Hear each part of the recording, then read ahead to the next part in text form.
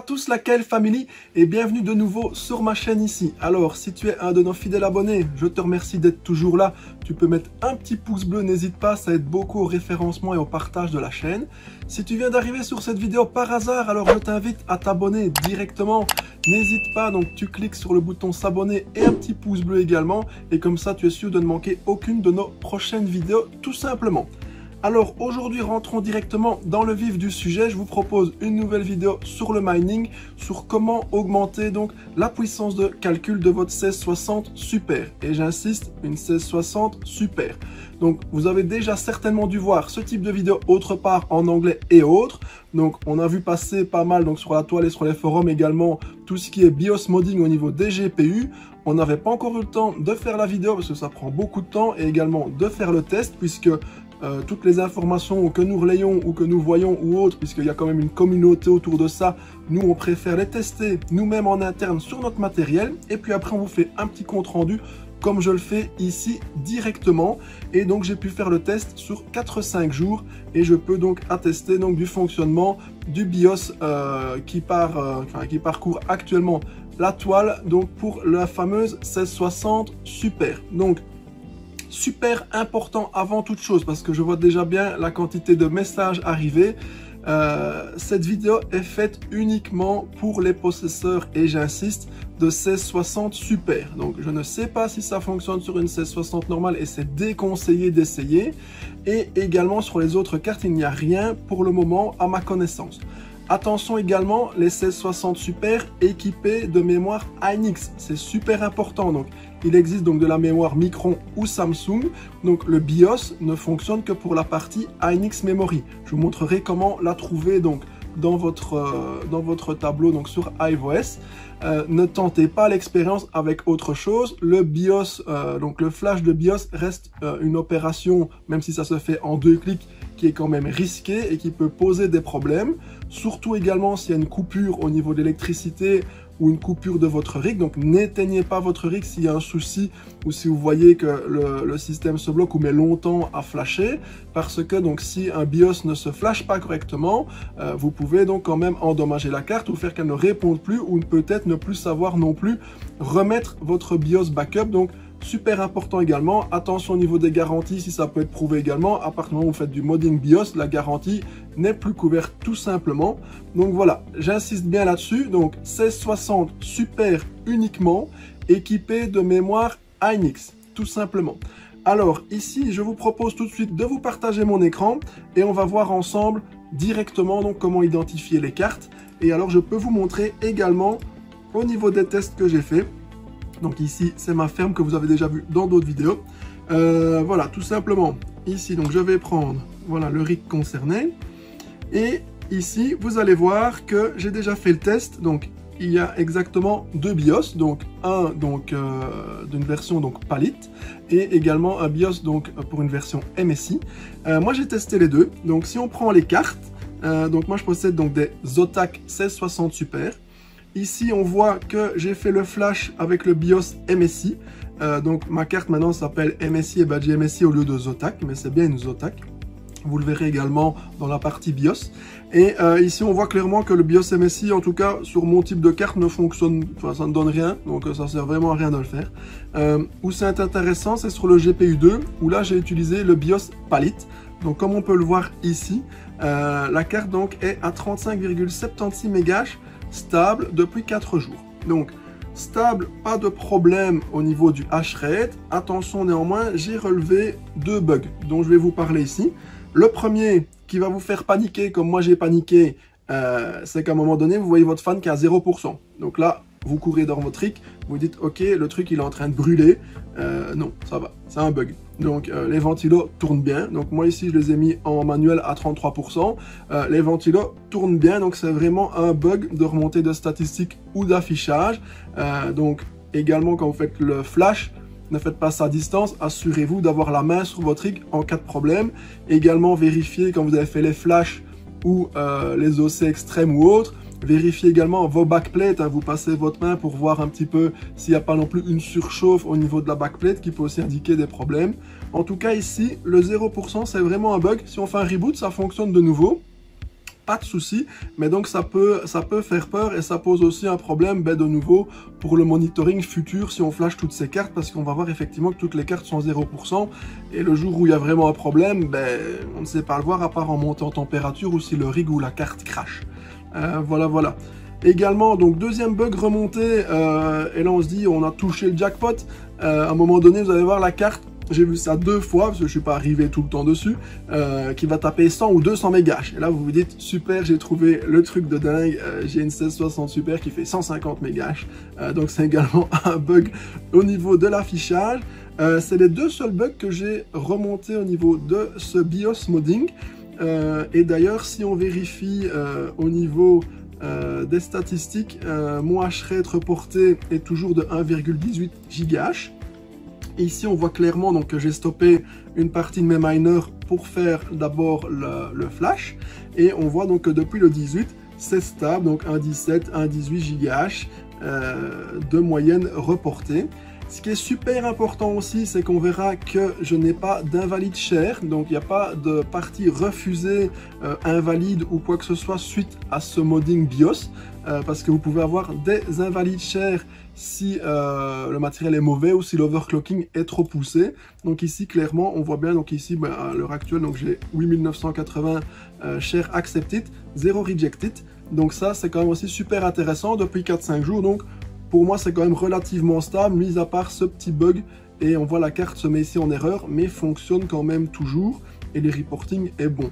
Donc euh, voilà, voilà pour ma petite expérience. Euh, ici, on est sur du 2400 euh, MHz au niveau de la mémoire. Donc il faut savoir, pour ceux qui ne le savent pas encore, mais bon, c'est connu maintenant normalement, mais sinon, on refait un petit tour là-dessus.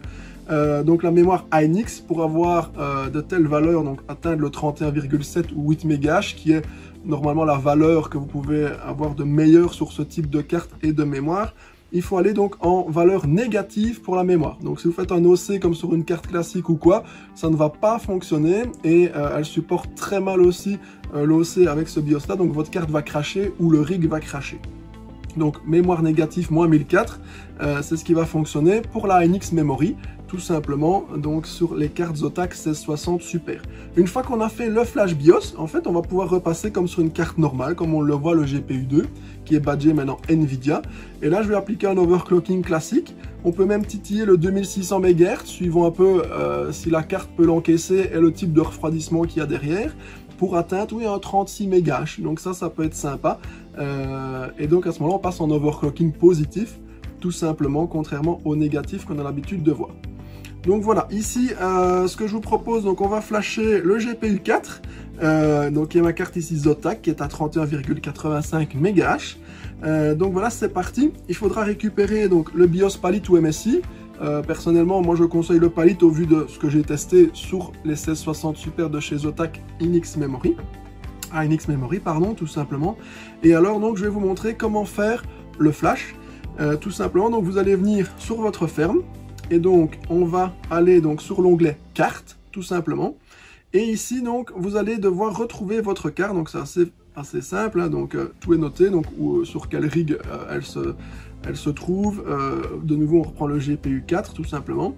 et alors, donc, si on jette un oeil, vous allez voir ici le GPU 2 que j'ai flashé. Donc, ici VBIOS Palit Test. Vous voyez, on le voit clairement ici avec le bug de, de la ventilation à 0%. Euh, ici, le GPU 3, comme je vous le disais tout à l'heure, donc on voit vraiment, donc il a été flashé avec le MSI test, d'où pourquoi ma carte s'appelle MSI, euh, que si on flash avec le palit, il met NVIDIA, donc voilà, tout simplement. Et alors ici, on va prendre euh, le GPU 4, comme vous le voyez ici, et donc il n'y a pas de VBIOS. Donc la première chose qu'il faut absolument faire, c'est faire un backup de votre BIOS actuel. Donc vous venez sur les trois petits points, tout simplement par rapport à la carte, et vous faites Download VBIOS. Et ici, vous cochez donc de sauvegarder le VBIOS dans l'espace de stockage de HiveOS, de votre ferme, tout simplement. Comme ça, il est online, pas de souci. Vous pouvez aussi le télécharger sur votre machine, mais bon, il est là tout simplement. Ça fonctionne. Donc, lui, euh, il va le noter que c'est le GPU 4 de toute façon. Et on va faire le download. Donc ça, ça va prendre euh, quelques secondes au niveau de, du download. Et alors après, on va pouvoir uploader. Donc il va falloir mettre en ligne dans votre ferme le BIOS que vous avez téléchargé précédemment. Donc dans la description de la vidéo, vous retrouverez les liens pour télécharger les BIOS, donc si vous ne les avez pas encore trouvés sur internet, je mettrai les deux, le Palit et également le MSI, tout simplement. Donc là, il faut patienter que le, que le download se fasse. Et après, on va pouvoir euh, mettre notre BIOS en ligne directement. Donc voilà. Ici, donc, on voit que le BIOS a été, on le voit donc, enregistré sur notre plateforme iOS. Maintenant, on va flasher le BIOS. Donc, je garde le GPU 4. On revient de nouveau sur les trois petits points. On va faire Select VBIOS. Et donc ici, vous allez voir, donc vous allez retrouver vos BIOS qu'on a backupé. Donc le GPU 2 que j'ai backupé avant de faire mon flash de la version Palit, le GPU 3 que j'ai backupé avant de faire le MSI test, euh, et ici le GPU 4 qu'on va faire ensemble. Donc avec ça donc, en cas de problème, s'il devait en avoir un et si votre carte est toujours détectable, parce que si ça foire complètement, vous pouvez ne plus détecter la carte, eh bien vous pouvez revenir sur votre BIOS de base et le retrouver facilement tout simplement, d'accord? Donc vous cochez les deux options Reboot After Flash et alors de forcer le flash, même s'il y a des erreurs de sécurité ou autre, tout simplement. Et donc je vais prendre mon BIOS Palit ici. Je vais le sélectionner. On va voir que ici, il est en attente de préparation donc pour le flash. Et alors simplement, on va faire flash carte. Et donc là, il faut absolument faire attention de ne pas éteindre le matériel. Euh, idéalement également de faire un stop des miners avant toute opération de flash. Euh, c'est conseillé. Maintenant, à partir du moment où on lance le flash, automatiquement, il fait un stop aussi des miners. Donc, euh, moi, j'ai testé les deux. J'ai pas eu de problème. maintenant, à voir ce qui est, est peut-être recommandé, peut-être de l'éteindre avant. voilà, tout simplement. Donc, c'est en, en préparation. Donc là, il faut, il faut patienter le temps que le, le flash s'effectue. Et une fois que le flash est effectué, le rig va redémarrer. Et alors, on pourra voir notre GPU 4. Il va falloir changer l'overclocking pour passer en positif et voir ce que ça peut donner tout simplement au niveau euh, de la valeur qu'on va pouvoir obtenir suite au flash du BIOS. Donc ça, ça va prendre euh, un petit moment également. Donc je vous propose de patienter euh, et alors je vais vous amener directement sur l'écran une fois que l'opération est terminée. Donc là, c'est en, initiation, faut patienter tout simplement. Voilà, donc on verra que notre, euh, notre flash est en cours. Que l'eau s'est afforé. Ça, c'est du connu. Donc Chrome flashing OK. Donc on voit. Donc maintenant il va rebooter. Donc on va éteindre tout ça. Et donc c'était le GPU 4 nous avions ici.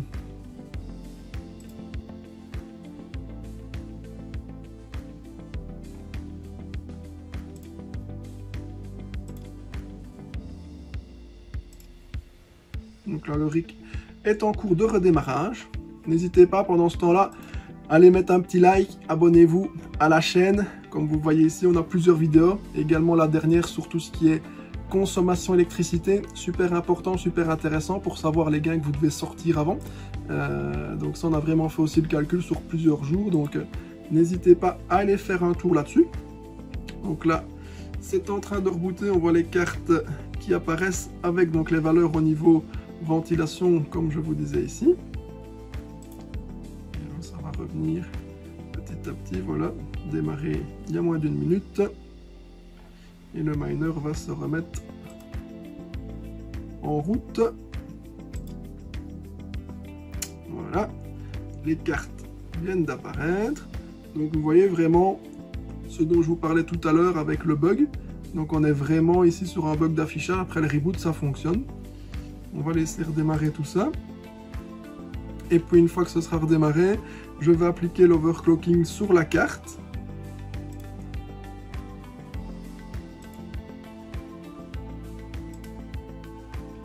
Voilà, donc là ça commence à se mettre en route, mais 3080 toujours en première.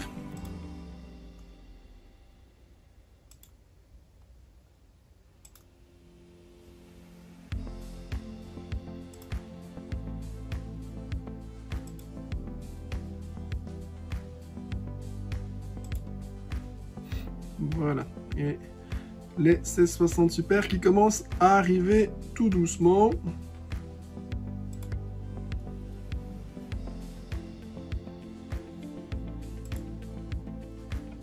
Voilà. Donc on voit que la GPU2 qui était flashée précédemment est revenue ici, donc à un 3577.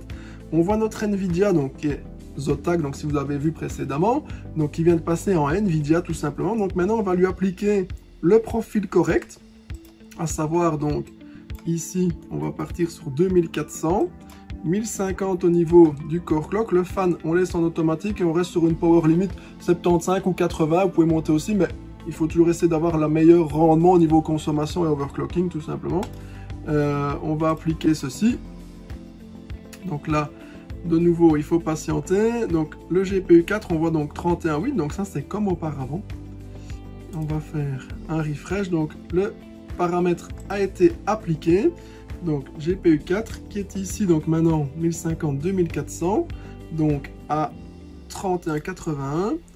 On va attendre un petit peu le temps que ça s'applique, lancer le refresh, et alors normalement on va atteindre plus ou moins les mêmes valeurs que sa petite sœur ici au-dessus. Nous revoilà dans la vidéo, petite coupure ici avec les aléas donc du direct, hein, comme je le dis toujours.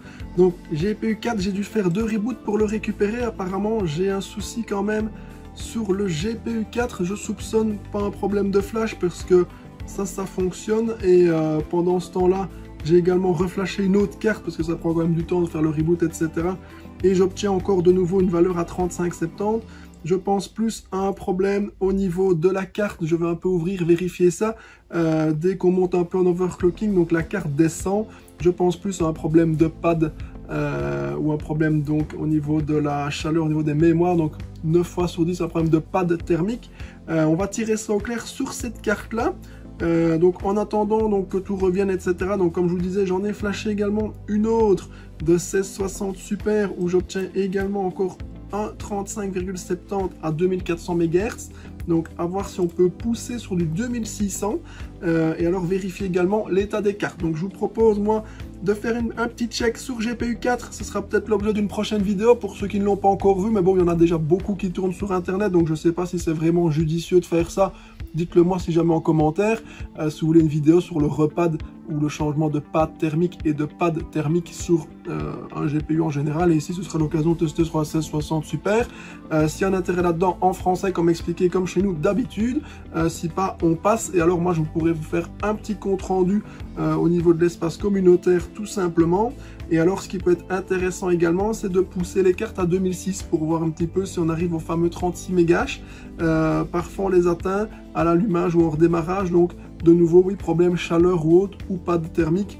On va quand même vérifier, sachant que moi je n'ai encore jamais fait aucun repad sur les cartes de ce RIC là. Donc ça c'est important à savoir, ce sont tous les pads d'origine, aussi bien également sur les 30-80. Euh, donc voilà, peut-être intéressant euh, de le faire et voir si vous voulez une vidéo là-dessus ou pas. Faites-le moi savoir en commentaire. Donc ici, en tout cas, on est bon sur le BIOS. Je vous mets les liens également dans la description. Donc voilà, j'espère que ça vous aura, aura plu. N'hésitez pas, un petit pouce bleu, abonnez-vous si ce n'est pas encore fait. Merci à tous d'être là. Également dans l'onglet communautaire, n'oubliez pas, donc on a un petit sondage pour les 10 000 abonnés, donc on peut vous faire gagner soit du matos gaming, soit du matos mining, soit du matos de geek, donc votez. Euh, il y a déjà pas mal de votes, donc euh, le concours se terminera dès qu'on arrive à 10 000 abonnés, donc n'oubliez pas d'aller voter le petit sondage en ligne. Également en description, tous les liens pour vous enregistrer sur iOS, pour vous enregistrer sur Binance, sur Celsius, etc. Il y a chaque fois aussi du cadeau, du pourcentage.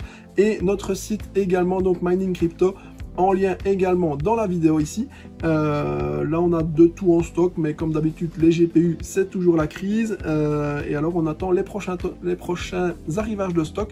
Euh, dès que c'est là, on met ça en ligne tout de suite. Donc, restez à l'affût sur le site, tout simplement. Je vous dis merci à tous de m'avoir suivi et à bientôt. Allez, ciao, ciao, ciao